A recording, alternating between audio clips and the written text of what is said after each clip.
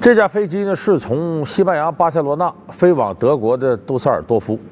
那么在法国南部的阿尔卑斯山区坠毁，大量的这个救护人员来到现场，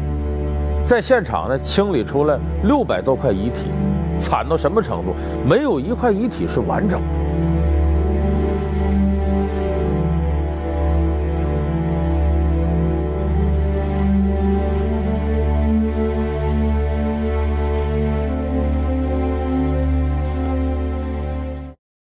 当然，在现场呢也找到了这个黑匣子。那么这一事件呢，也是最近这些年来啊诸多的恶性航空事故当中啊非常悲惨的一件。那么德国之翼航空公司上面的母公司是德国汉莎航空公司，在这时候站出来说，无论什么情况发生，我们都不会逃脱责任，呃，我们绝对会彻头彻尾的赔偿，因为根据国际上有关空难赔偿的条例呢，这种情况下呢，赔偿是上不封顶的。为什么呢？如果因为说天气原因呢、外力冲击啊、不可抗力等等等等，那么赔偿的封顶价大致是十五万七千美元。可是，在这个过程当中，经过调查呢，这并不是什么不可抗力，而是这个副驾驶卢比茨有意为之。那么，因为这样的原因，航空公司必须承担全责，也就是说，他的赔偿上不封顶。那么，这个事情是怎么认定是这副驾驶有意为之？就是因为找到了驾驶舱里边的黑匣子，这个黑匣子完整的录音显示，这是副驾驶卢比茨有意为之制造的一起坠机事件，就是驾着飞机一个劲儿的往下降降，然后撞到阿尔卑斯山上，造成了这一幕惨剧。那么黑匣子呈现出来的录音呢，非常完整，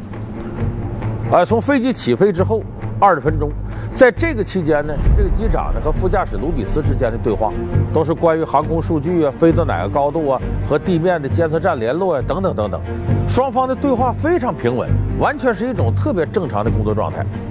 然后黑匣子里边显示的录音呢，是这个卢比茨啊，好几次催促机长说：“你在这个巴塞罗那那边起飞的时候忙于准备工作，你就没上卫生间，你你该去卫生间了，该去厕所了。”催了好几次，啊，接着机长呢。呃，当飞机飞行到一万多米以上的高空的时候，很平稳了之后，机长站起来去卫生间，然后传出来呢动椅子的声音，就是卢比茨代替这个机长驾驶，然后关门，因为是机长出去了，机舱门关上了。关上之后，根据地面雷达监测站的显示呢，这个时候，这个卢比茨用手动操纵的方式输入了使飞机急速下降的指令，而这个呢是自动。做不到的，必须手动输，急速下降。然后这个时候，地面的监测站呢和他联系，就说你为什么下降这么快？这是违规的。但是很快呢就联系不上了。这时候只能听到机舱里边呢这卢比茨的呼吸声，而且这个呼吸声是很正常的。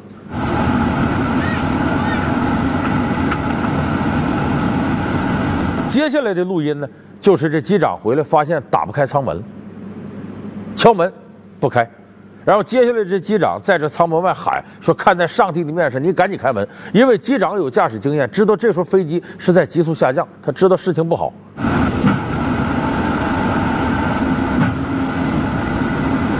可这时候驾驶舱里呢，罗比斯不答应，只有他喘气的声音。然后后来这机长在外开始骂上了，这把这个该死的舱门打开，然后拿着斧子在砍这个舱门。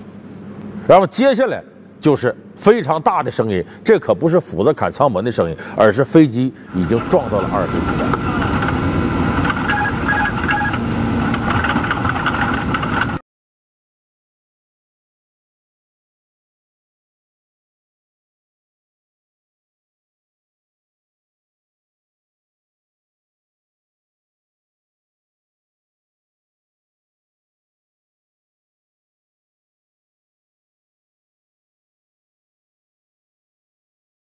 是飞行员呢，所以说这个舱门不仅是高科技的，而且材质特别坚固。就说你在外边想通过外力把这舱门打开，几乎可能性是零，不可能的。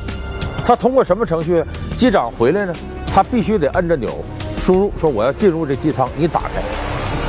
如果里边的人不给他打开，或者里边人这时候已经失去行动能力了，那么机长这个时候呢，可以输入一个紧急代码，这紧急代码会帮助他自动打开舱门。但问题是呢？里边这个人如果当时没有行动能力，你这样行；可是里边这人他要是蓄意的不给你开，他可以在里边摁一个键，这个键保证你输入紧急代码你都进不来。所以说，这卢比斯在这个过程当中，其实是非常冷静理智的，在按照自己的想法操作。就是我把你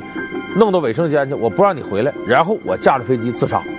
所有的这过程都已经在他的预案当中。